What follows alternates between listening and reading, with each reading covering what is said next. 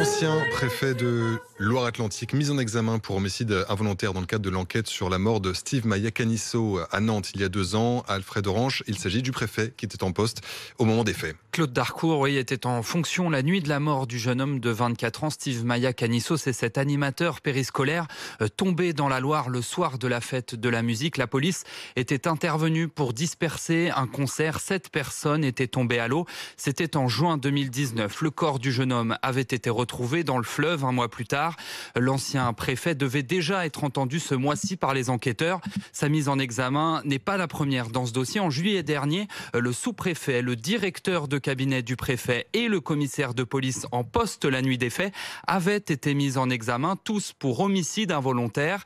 Le procureur de Rennes indique que l'instruction pourrait arriver à son terme fin 2021 ou 2022, puis ce sera au parquet de prononcer ses réquisitions. Merci Alfred Orange.